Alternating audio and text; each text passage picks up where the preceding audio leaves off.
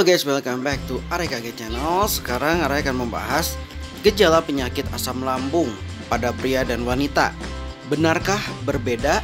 Tapi sebelum lanjut jangan lupa untuk klik tombol like dan subscribe ya guys ya Penyakit asam lambung terjadi ketika asam lambung naik ke kerongkongan atau esofagus yang menimbulkan sensasi terbakar di dada atau mulas ya guys ya dan nyeri ulu hati.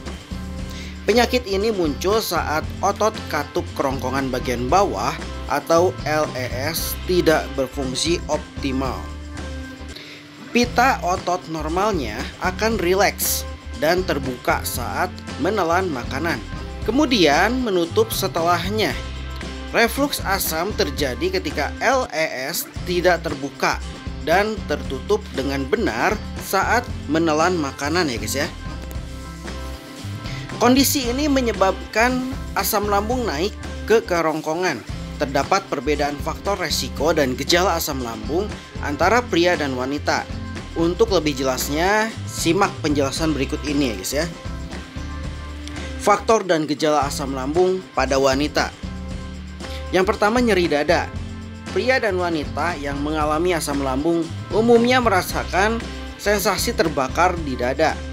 Sensasi terbakar ini terjadi akibat naiknya asam lambung ke kerongkongan ya guys ya. Sehingga menimbulkan perih dan panas di dada. Pada wanita, nyeri biasanya terasa lebih intens dan rasa sakit yang lebih besar. Lalu sulit menelan. Wanita yang mengalami asam lambung cenderung sulit menelan. Asam lambung yang naik ke kerongkongan menyebabkan infeksi sehingga makanan yang masuk menimbulkan rasa sakit di kerongkongan ya guys ya dan terasa mengganjal saat ditelan. Lalu usia lebih tua. Wanita berusia lanjut lebih rentan mengidap penyakit asam lambung. Pasalnya, usia lanjut menyebabkan otot katup tenggorokan mengendur ya guys ya.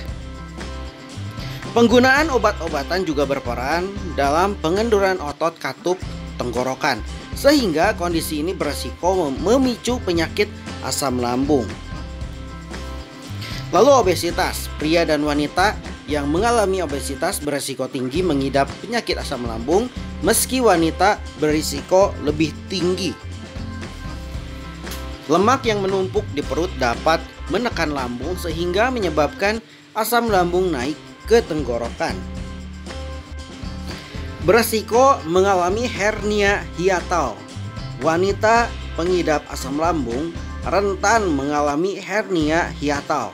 Adalah kondisi medis yang menyebabkan bagian perut menonjol melalui diafragma ke dalam rongga dada. Selanjutnya faktor dan gejala asam lambung pada pria. Usia lebih muda. Pria berusia lebih muda cenderung memiliki otot katup kerongkongan yang lemah.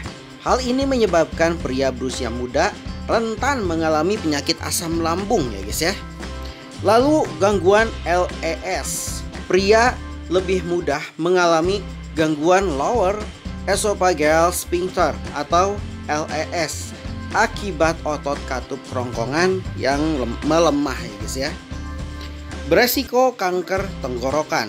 Gejala asam lambung pada pria biasanya berdampak serius daripada wanita. Maka itu pria rentan mengalami radang kerongkongan dan kanker tenggorokan. Terlebih pada pria perokok dan konsumsi alkohol berlebih ya guys ya. Oke guys, sekian saja info dari ARKG Channel. Semoga info ini bermanfaat untuk semuanya. Dan jangan lupa untuk klik tombol like dan subscribe ya guys ya. Dan see you, bye-bye.